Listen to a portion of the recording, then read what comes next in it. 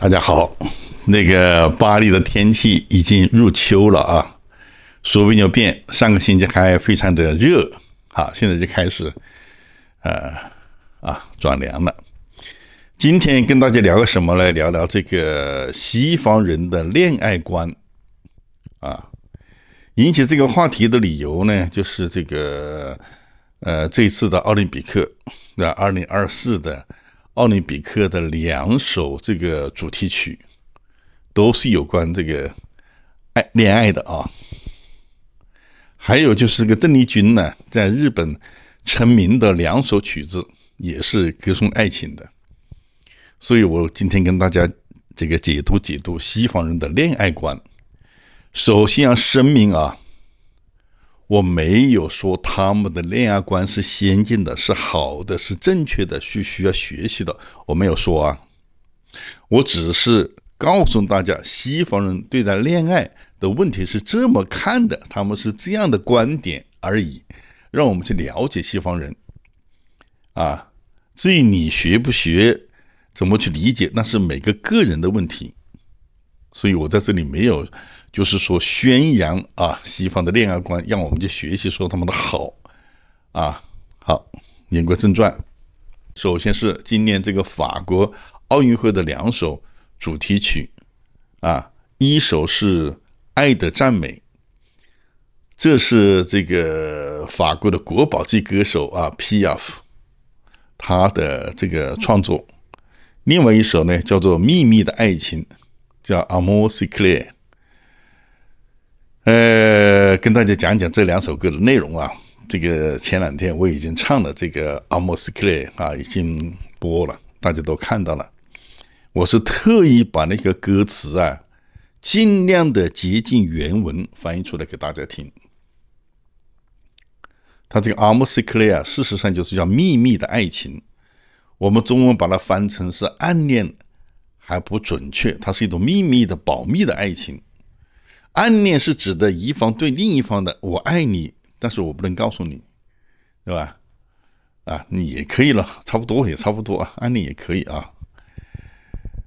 这首歌啊，其实讲的就是一个女的爱上了一个呃已婚的男士，或者是一位男士爱上了已婚的女士，他总是这个爱情是不被法律保护的，是不不被允许的，所以他是有这个秘密的，才有这个暗恋。才不能够公开讲，但是他最后呢，他是一个开放的态度，就是总有一天啊，你可以牵着我的手，我们再也不怕别人看，因为我们的恋爱不是错。其实这首歌唱的是谁呢？其实唱的就是法国的这个总统啊，这个马克龙。马克龙就是在读书的时候就开始暗恋自己的老师啊，比自己大了这个二十几岁吧。啊，不能讲。但是呢，毕业以后怎么样？那个逼着老师跟她老公离婚，然后她自己就娶了自己的老师。其实这就是讲了一个呃法国总统的故事啊。另外一首呢，就是这个这个《爱的赞美》，这是皮亚夫的歌曲。他歌颂是什么呢？皮亚夫在这个。嗯，法国歌坛上是是无可取代的，就像中国的邓丽君一样，那是无可取代的人物，没有争议的。但是他这个人的一生呢，也是很不幸，他有很多段的这个这个这个恋爱啊，而且他的恋爱史还比较乱。但是他真的爱的刻骨铭心的，其实就是一位一位这个拳击手，他是在纽约去去演出的时候啊。其实 P.F 也没读什么多书，他的这个这个这个啊口味可能也不是说太高了，就是看拳击看什么就碰到了一个法国的一个拳击冠军，两个人就好上了。那那个人就是一个啊有妻之夫啊，家里是有家室的，但是他们两个人就是爱得一塌糊涂，那个当时的绯闻也是满天飞，那他们不管。我估计这个这个拳击家可能身体也是很好的，对吧？啊。所以两个人的疯狂，你们去想象吧。但是后来有一次他们约会的时候啊，这个拳击家这个飞机坠毁，失事就死掉了。所以这个对他的打击是非常非常大，他他曾经一度就就就就就不行了，就已经。对对他的人生是一个很大的打击。所以他创作了两首在他人生中间最最有名的歌曲，一首就是这首奥运会唱的叫做《爱的赞美》，另外一首就是《玫瑰色的人生》。啊，这首《玫瑰色的人生》呢，后来还用这个标题啊拍成了电影。啊，这个电影的名字就叫《玫瑰色的人生》，就是讲这个皮亚夫的一生的经历啊，从他小时候被母亲抛弃啊，被父亲送到这个妓院，呃，那个这个这个这个父亲的，就是他的外，他是他的奶奶了，是开妓院的，在妓院里怎么长大，后来又在街马路上九岁几岁就开始在马路上唱歌为生，后来怎么一步一步能够成名，最后只有四十七岁啊，五十岁都不到就就就病死掉了。所以也是一个一个一个一个非常那个的人物，但是他这段爱情也是一段在我们中国人说的是小三式的爱情。所以在所以在法国啊，无论是这个总统马克龙也好，还是个国宝级歌手这个这个皮亚夫也好，他们两个共同的特点就是都是小三。所以在今年法国这个奥运会的这个开幕式也好，闭幕式也好，这个主题曲啊，都是歌颂小三的啊。讲到这里，大概已经可以知道个差不多了啊。这个西方人的这个恋爱观啊。另外就是说，日本呢，日本我们属于东洋啊，他们追这个西方文化追得很紧。那么邓丽君在这个在日本成名的两首曲，一首叫做这个《空港》啊，一首叫做《爱人》。在空港，我以前也唱过，也是有意思的，把原词的内容翻译过来唱给大家听了。因为空港翻译成中文以后啊，就完全就把那个歌词就不要了。还有那个爱人也是一样的。其实这两首歌都是歌颂小三的。空港是说一个女孩子并不知道那个男的是结过婚的，而把他送到机场跟他说再见啊，但是后来他知道了。知道了，他就跟那个男的说：“你还是回到那里去吧。”啊，他就是一个小三的，对自己的这个这个这个这个男朋友的恋恋不舍的，在在机场这个再见的这样一首歌。另外那个爱人那首歌，那就是我就愿意做小三，我就当个小三，我就在家里等着你，你有空来看看就行，就是这么一首歌。所以这么总结出来，这个这个这个西洋也好，东洋也好啊，他们都是把。真正的爱情，纯真的爱情，当成是最有价值的，而不是把那张纸当成是最有价值的。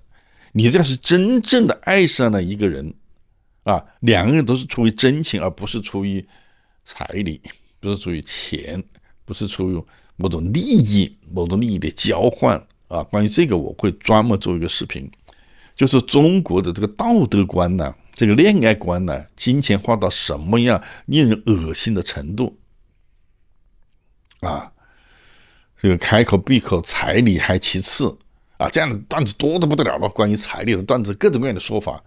还有就是这个这个男朋友在外面有有有有有个女朋友啊，另外有个有个找了个富婆啊，这个富婆就呃直接跟跟男朋友说：“你还缺什么？”那男的说：“我缺辆车。”或者反过来。啊，这个男朋友去去抓奸，抓了这个这个这个男的，对他说：“自从你你女朋友认识我以后，你还缺什么？”他说：“我还缺辆车。”啊，这种我以后专门做过做个视频，跟大家分析这个东西的，多么的下流，这种这种这种价值观是多么的腐朽、没落、下流，嗯，贱，讲出来就是就是卑贱啊，就是就是下贱，专门专门这个这个这个讲。我在这里只是说，这个西方人的这个恋爱观跟价值观，他是以真情，不计呃任何的身外的利益，没有附加利益的纯的爱情，包括性爱。你是真的喜欢这个人，真的喜欢跟他做爱，你跟他做爱就是非常非常非常的享受。你像这种，他们都是属于是要尊重，属于要歌颂的。这就是整个西方对待爱情的这个他们的价值观。OK，我再说一遍啊，我不是在宣扬或者推崇西方的价值观，不是这样子的。我只是告诉大家，西方是这样，我们中国有中国的优秀的价值观需要发扬光大，而不是在西方人都看不起的、西方人都觉得是下流下贱的这一些价值观，在中国的网上却是风起啊！这个我专门做个视频去批评吧啊。好，那么今天呢，这个关于西方人的这个恋爱观的话题就讲到这里。下面呢，是我昨天在巴黎啊，我现在人在巴黎，重新录制的啊，我再录了一遍，就是那个爱的呃赞美啊，这个爱的赞美中间有一段是用法文唱的，大家不要 突然觉得哎呀听不懂了，呃，因为我觉得我既然是中国人嘛，那个呃这个既然唱歌就是还要还是要用中文唱给大家听。让大家把歌词听懂了，所以我都是我所有的歌曲的翻译，我都是自己重新翻译的，我都从来不用别人的词。为什么呢？我就是要紧扣原意。我所有的看唱那个歌子也好啊，就是这个呃爱情故事也好啊啊呃所有的吧，我全部是按照原歌词的意思，尽可能的接近他的，唱的顺口的中文唱给大家听的。而不是别人呃编的词啊，什么东西啊？所以这一次也是，我是紧紧的按照这个 P F 的原词，把它翻译成中文唱给大家听。中间呢有几句是法文唱的，大家注意一下。OK，谢谢大家，再见，拜拜，耶。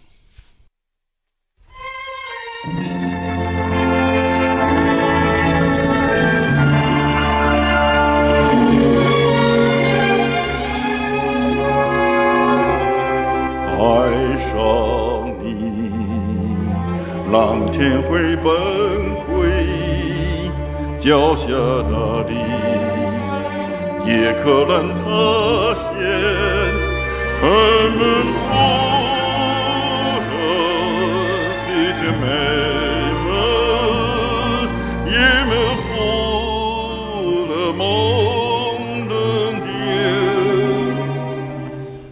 jamais plus según peut s'effondrer et notre bien se couler dans toujours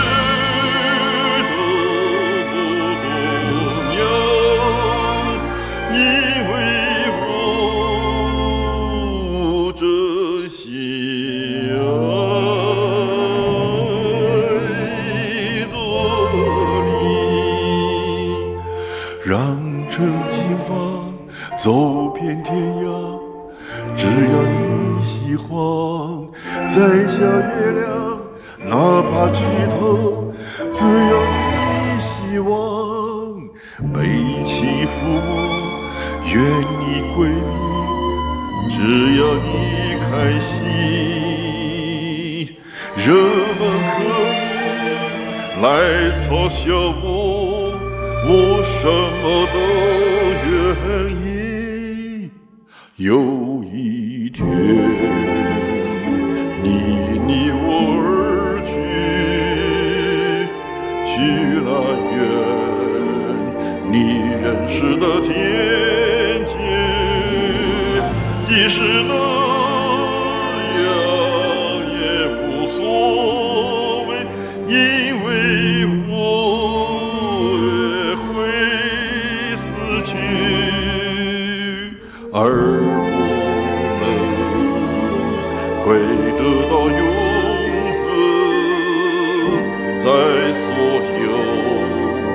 广阔的天空，在